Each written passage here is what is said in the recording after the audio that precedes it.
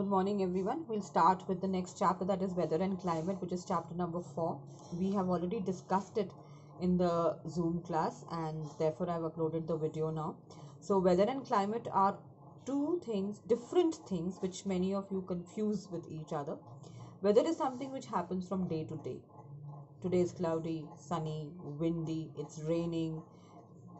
All these conditions they come under the heading of weather so therefore, any condition of atmosphere for a short period of time and affecting a small area, then it is termed as weather. For example, it is sunny here. It might not be sunny a few kilometers from here or it might not be sunny in the next city. So these conditions which keep on changing after a few kilometers and keep changing after a few hours, we call them as weather.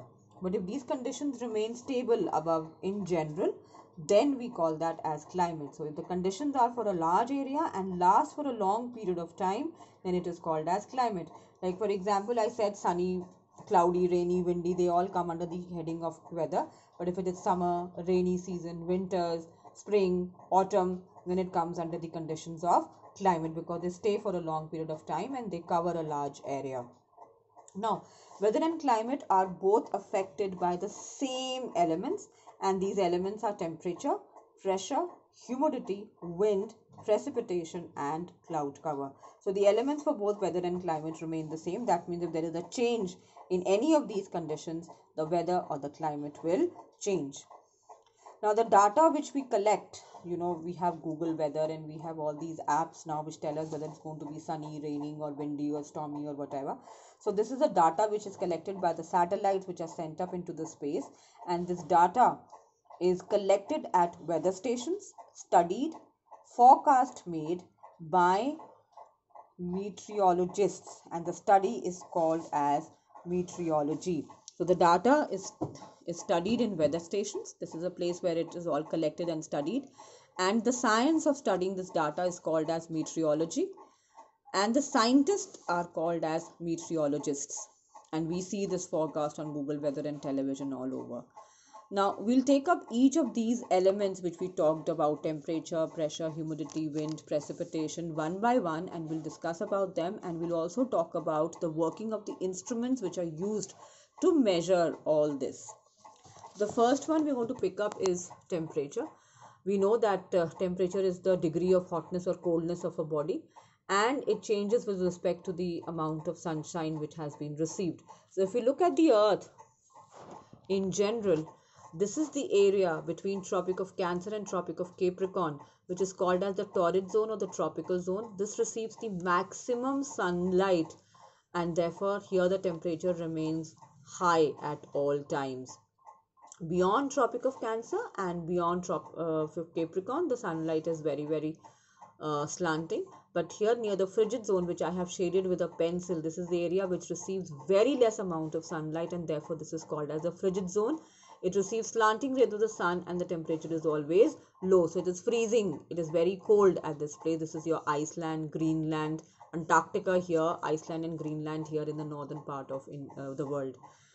Now the first to measure the temperature we have generally we measure it our body temperature with the help of a thermometer. But to measure the temperature of the atmosphere we have another instrument called as the Six's maximum and minimum thermometer.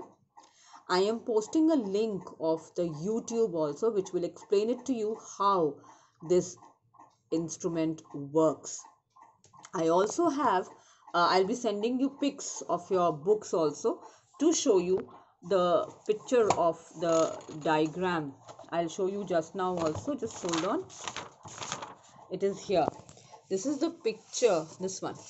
This is the Six's maximum and minimum thermometer. If you see it has two limbs and it has two bulbs at the bottom the limbs are connected by a u-shaped tube the blue color shows you mercury and the red one is actually alcohol now both the limbs are filled with mercury and alcohol and the working will make it very very clear to you on that youtube link which i'm also attaching with this uh, video so you'll be able to see it very clearly and understand what i want to talk about and the other element which we are going to study today is the atmospheric pressure. That means the pressure exerted by the weight of the mixture of gases present in the atmosphere is called the atmosphere. We all know that atmosphere contains a lot of gases and these gases will have weight and anything which has weight will exert pressure. So the pressure exerted by these mixture of gases is called as atmospheric pressure.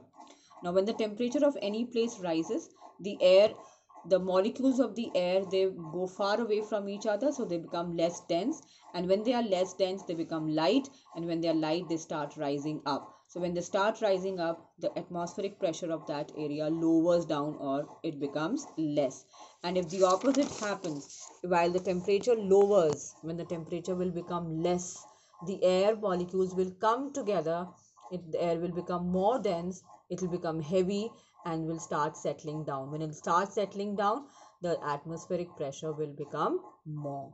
And the instrument which is used to measure the atmospheric pressure is a mercury barometer. Now, this mercury barometer is an old instrument. Again, I'm sending a link as to how this works. And it's an old instrument but in 1700s another instrument was devised another instrument was invented and that is called as an aneroid barometer. Now mercury barometer were very difficult to carry from one place to another because it was an open instrument and it had mercury in it. So therefore it was not very convenient. Plus mercury was also very toxic. So therefore using or use of mercury was actually banned in the european countries and therefore they had to look for another alternative. And that alternative came in uh, in shape of aneroid barometer and therefore we have two barometers. One is mercury barometer which is an old instrument and the new one modern method is aneroid barometer. So the working of these two also i'm sending you links so that you are able to understand the working of these instruments properly.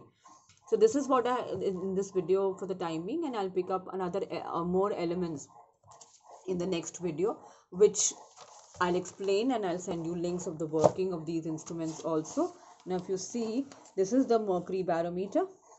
Can you see this? This is the mercury barometer and this one is the aneroid barometer. Very compact very light does not contain any liquid and therefore very easy to carry from one place to another. But this one you can see open has mercury in it and therefore difficult to carry and of course it is toxic so it becomes dangerous also. So watch it get back to me in case you have any queries and do watch the youtube links as well because that that is the only way you'll be able to understand how these instruments work. Bye bye for now